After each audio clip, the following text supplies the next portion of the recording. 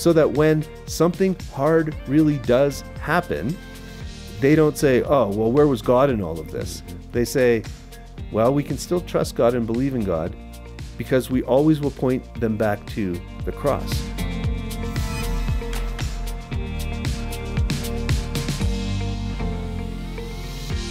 John, welcome back. Good to be back. This is so good. I mean, the content is, I think, exactly what parents of teens and 20 something need to hear. How can misunderstanding the definition of faith cause that deconstruction to light the fuse, is a good way to say it?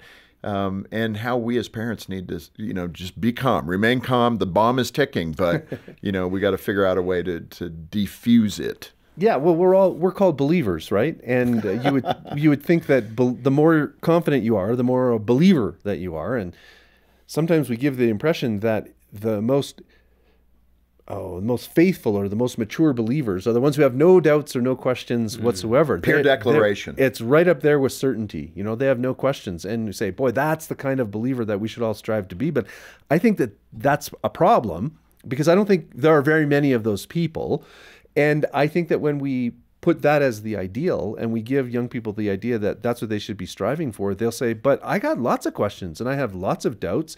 So if I'm a believer, I'm not a very good believer. I'm a pretty weak believer, if I'm a believer at all, because believers believe and I have lots of questions and doubts. And so there is in the minds, and maybe it's because we planted it there, that the opposite of, of faith um, is doubt. But that's not the case. The opposite of faith is unbelief. And you can be a believer and have lots of questions as long as you have enough reasons for a hope worth acting on mm. then you can remain a christian because being a christian isn't having a high degree of confidence in all of these propositions but it's having enough reasons to think those propositions are true that jesus lived that he died that he rose again and then living that out, taking one step forward every day and fulfilling your role in the story that you think that God is telling. Some days your confidence will go way up and some days your confidence may drop significantly low, but as long as you have enough reasons to think that it's most likely true, then you can continue on being a believer in Jesus. If at some point you get to the place where you say, I'm pretty sure that this whole thing is just false, then for sure you're not a believer at that point. Yeah. Let me let me work this into it. You know, kids that have a logic pattern, you know, their temperaments play into this obviously. STEM students, uh, that's, you know, the acronym for sciences and technology and engineering, mathematics. I think I spelled it properly. I was a marketing guy, but uh, you know the STEM students they they very much are geared toward rationalism, objective truth. What you see is what the universe is, not not something spiritual.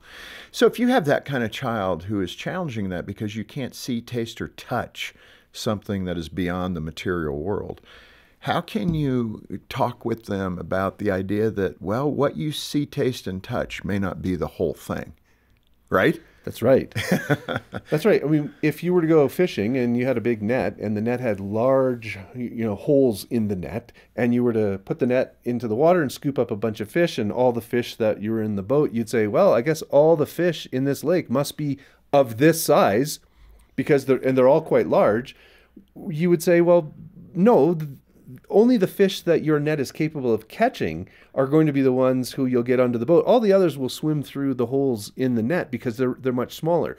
And the same thing when it comes to science and, and technology is that science can answer a lot of the how questions, but really none of the why questions. Even if we were to find some sort of theory of everything, then the next question would be then why is this theory the theory? We can maybe say this is how the universe began, but we're not, we don't know why the universe began. We can say that we have reasons to think that human beings have value and dignity, but we're not really sure why we're here in the first place or what the meaning of life is. Those are big questions that science can't answer. You need another net to sort of catch yeah. those answers because the net of science and the net of you know empiricism uh, everything, uh, all of those questions swim right yeah. through those holes. Uh, let's continue on, John. So many of us as parents rely on the church to do the job. Hmm. And that's a mistake. I mean, the church is only going to have your children on Sunday typically for a little Sunday school lesson or something like that. And they should be augmenting what you're doing at home, but it's really your job to talk about the Lord at home and to teach. Set that into a right perspective. And then maybe what we're missing, relying on the church for too much in that area. Parents are the number one influence on their kids' spiritual development, bar, bar none. It's not friends. It's not teachers. That's amazing, but it's that's not true. Coaches. It's not the church. It is parents. Now, we said in yesterday's episode that it's not always a parent's responsibility for how the kids turn out. I know of a family who that one child became a missionary, the other child became an atheist activist. So Wow. they came from the exact same family. So it's not completely determinative of how your children will turn out, your parenting styles. But parents are of the greatest influence on their kids, and the most important thing I think that we can do is to have uh, is to have a warm and loving relationship with them. And it's out of that warm and loving relationship that we really are going to pass on our faith effectively. It's not going to be by by arguing. It's not going to be by forcing. It's not going to be by uh, inundating them with uh, apologetics. But I think it's going to be living well in front of them, loving them really well, and out of that relationship comes the opportunity to listen because I think there's a respect that kids have for parents. And if it's not there because of the parenting style, because it's overbearing or sort of authoritarian, then I, I, I think that you know the Christianity that the parents are modeling um, gets lumped in and associated with that, and say I don't want to have anything to do with that. so parents play a huge and really significant role.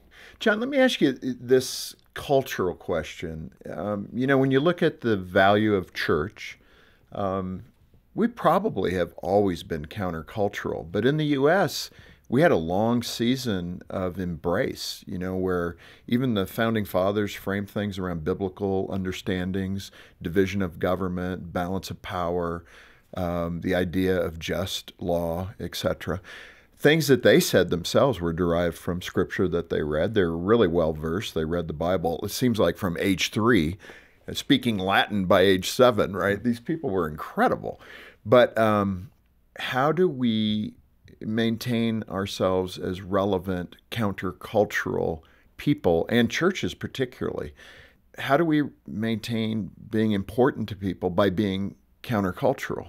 Well, you're right. The the statistics really do show that the number of people who identify as Christians in the United States is significantly dropping. Now that raises another question as to what does it mean to identify as a Christian? Are we talking about people who have robust deep faith or are we talking about people who are only nominal, maybe Christmas and Easter and I'm not Muslim and I'm not Hindu, so I must be Christian. But if you look at the statistics in the 1990s, 90% of Americans identified as a Christian, 5% identified as having no faith whatsoever. Today, it's about 64% who identify as Christian and about 30% who identify as having no faith whatsoever. And if those trends continue, which I suspect that they will, um, we'll be looking at a, a country in the next generation that has more people who identify as having no religious faith than than there will be Christians in the in the United States. So I, I think the question of, of relevancy is really important. I think one thing that we really need to always make sure that we do, you alluded to it in your question, is we need to have fidelity to what the Scripture teaches. Right, that needs to be our constitution. It needs to be our manifesto. It needs needs to be the thing that we're faithful to because it will be the that which makes us countercultural. And as the culture becomes further and further away from historic Orthodox Christianity in both belief and practice, those who are standing up for and those who are articulating a biblical worldview and living it out with grace and truth will become, just by virtue of doing that, more and more countercultural. You know, one of those tough questions that your teen or 20 something could ask is this one, I think, and that is if the U.S. generally has tasted biblical truth, why would they walk away from it?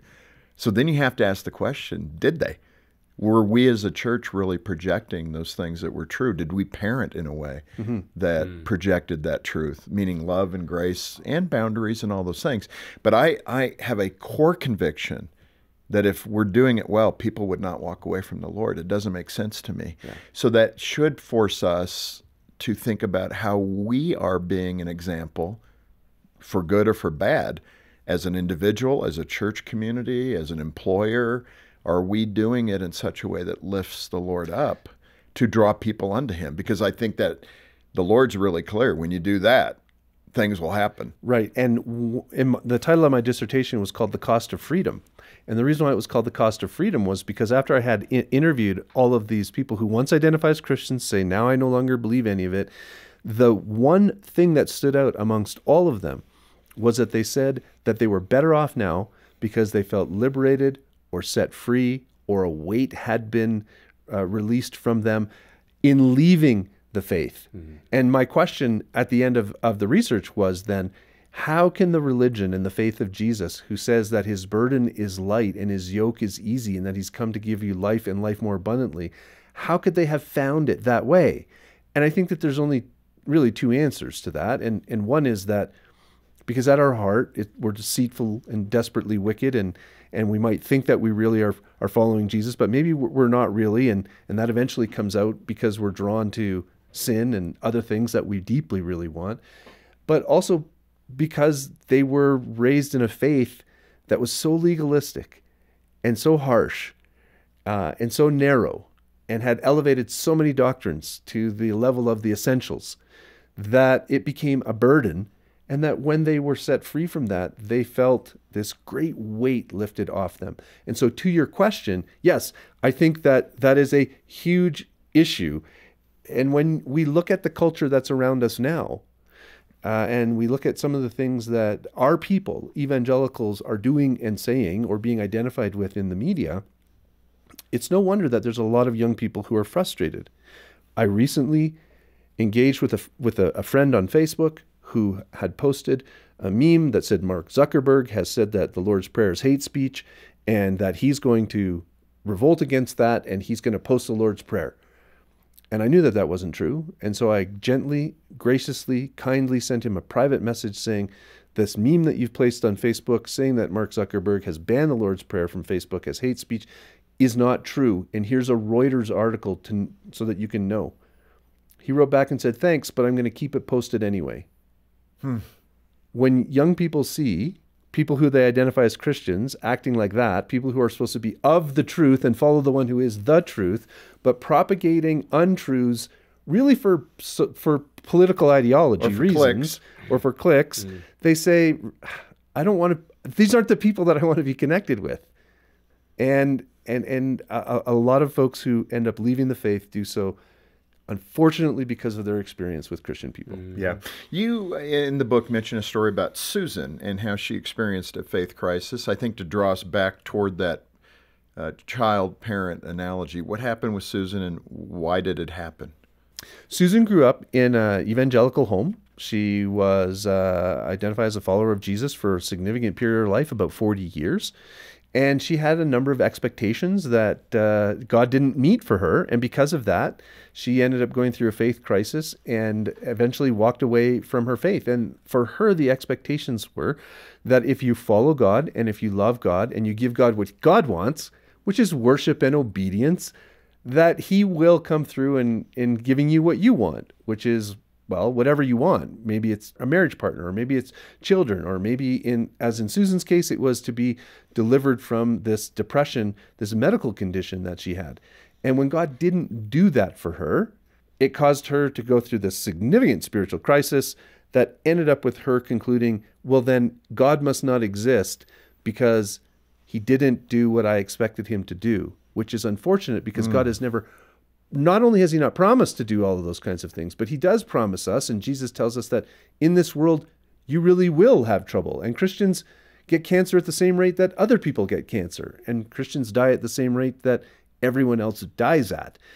And when we have this reciprocity understanding with God in our mind, which says, I do for God what God wants, therefore God does for me what I want, we're in really big trouble and we're setting ourselves up for uh, uh, for a rest, it's a recipe for disaster. Well, something you're saying is so important. We put expectations on everything in our life. We put expectations on our spouse. We put expectations on the Lord. We put expectations on our children. That can't be what drives you in relationship. How you perform for me, whether it's God, your spouse, your kids, your friends. I mean, we're human beings We're going to let each other down at times, and it is really healthy, in my opinion. Something I've tried to teach my boys. Just, you know, have low expectations. And I don't mean that derogatorily with the Lord. With the Lord, it's priority. Lord, I'm going to trust you and believe in you no matter what, mm-hmm. regardless of my circumstances. You're my Lord and my Savior. But guess what? You are going to hit the wall called mortality. And if that's the first time you're in, in, engaging a valley in life, get ready mm-hmm. because God's going to put you through things that make you rely upon Him. I mean, what I hear you saying is know the book, um, understand who God is through the Scripture. That's a pretty important component. We haven't really addressed that.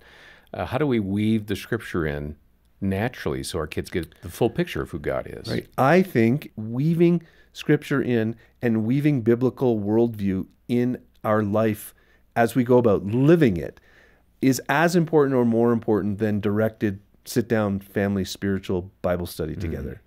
One of the things that we have done with our kids is at night we will pray with them before they go to bed, and we are intentional about praying certain themes so that they hear us repeatedly pray. Things like, Lord, we know that you're good, but we also know that you will allow hard things to come into our life at some point. So we trust you and help us to trust you when that happens. And and we think that, you know, if you hear that enough over time that it will sort of sink in and become part of the fabric of, of your life, hopefully, so that when something hard really does happen, they don't say, Oh, well, where was God in all of this? Mm-hmm. They say, Well, we can still trust God and believe in God because we always will point them back to the cross. We always will point them back to Jesus and say, you know, God is either really loving and gracious and kind in giving us his son in the midst of all of the things that we see that he's not intervening he's not rescuing us from from financial hardship he's not rescuing us from from health issues well then why should we trust him? Because he gave us jesus. And he either gave us jesus and he really is good and loving and that's the greatest display of that and we can trust his character or the opposite is that he's some sort of psychopathic psychotic yeah glory hound who was sacrifice his own son just so some insignificant, you know, beings on a speck of dust could worship and praise him. Mm. And that's not really a live option, I think, for most people. I think totally. Uh, yeah, it's not a logical conclusion for a loving, caring God. Uh, John, let me ask you this: um, If someone's going to walk away with one thing, a parent, a grandparent, what's the most important thing a parent or grandparent can do to help those children embrace faith and stay in the faith? I think the first is you have to give young people the space to question and to express their doubts. And you, you have to give them the freedom to explore those. It's helpful to guide them and put some parameters around them as they're going through it, walking with them through it. Uh, so I, I think that they need to know that it's going to be okay for them to say, I'm struggling with this. I don't know if I believe this. How am I supposed to remain a Christian while I'm while I'm dealing with this doubt. The other is build into the relationship, continue to de- make deposits into that relationship because in the end, I think that that's the most significant thing that you can do in the long term for your you know your son or your daughter who is wrestling with the faith is to be there for them so that they can talk to you and that you can talk with them for the parents who have 20 30 somethings they're off to college or they're out on their own now, and um, there's not the spark, the insight that they really are embracing the faith. They may not be doing anything negative per se. They're just not excited about their relationship with Christ, or they don't talk about it ever. What is important for them to do or realize in that moment of their parenting? I, I think it's I think it's quite fair to to ask if you can have a conversation about that. I think you can be upfront.